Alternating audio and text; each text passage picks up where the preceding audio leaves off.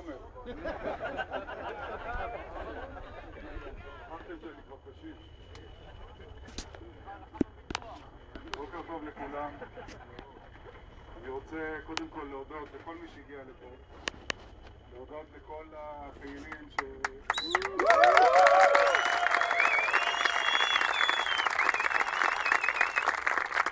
לכל הפעילים שעזרו אה, לעשות את האירוע הזה תרבותי. יש אנשים שלא יאהבו לשמוע את המילה הזאת תרבותי.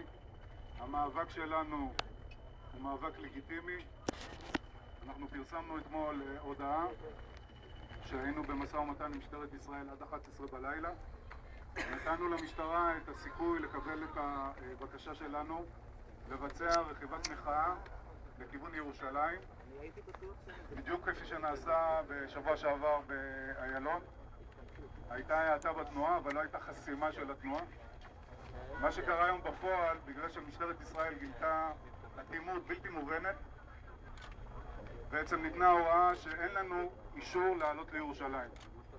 אני יכול להגיד לכם, ולא בסוד, אני יכול להגיד לכם, ולא בסוד, שהמשטרה חששה מהעוצמה שלנו, והחשש הזה התברר כנכון.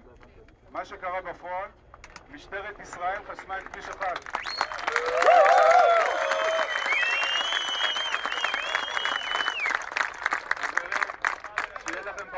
אנחנו נהגנו כשורה, נשמענו לכל ההוראות שקיבלנו, אתם נשמעתם להוראות של המרשלים והפעילים שלנו.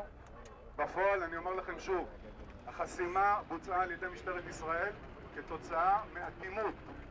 אטימות של משטרת ישראל, אטימות של משרד האוצר, אטימות של שר האוצר, אטימות של שר התחבורה. בעצם מה שאנחנו רואים פה זה תופעה שלא אה, לא נשמעים בעצם אה, אה, לקולנו. בסך הכל רצינו להגיע למשרד האוצר ולמסור לשר האוצר מכתב, מכתב שהגיע אליו בשבוע שעבר וטרם התקבלה תשובה. במכתב אנחנו ביקשנו משר האוצר להקפיא את ההתייקרויות ולשקול אפילו הנחה בתעריפי הביטוח הבלתי סבירים. אנחנו אה, נמצאים פה וסובבים אותנו בעצם, אה, אני מאמין, כל שוטרי מחוז ירושלים. אני חושב שגילינו...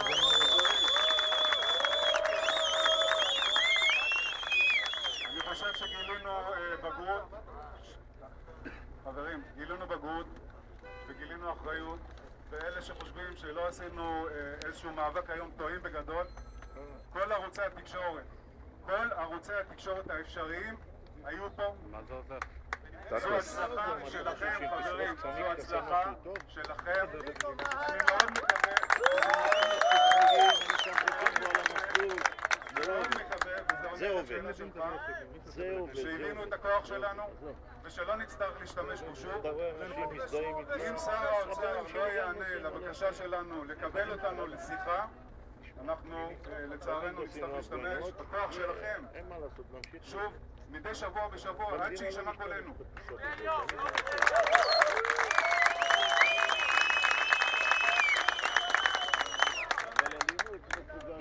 את התשובה במיקרופון?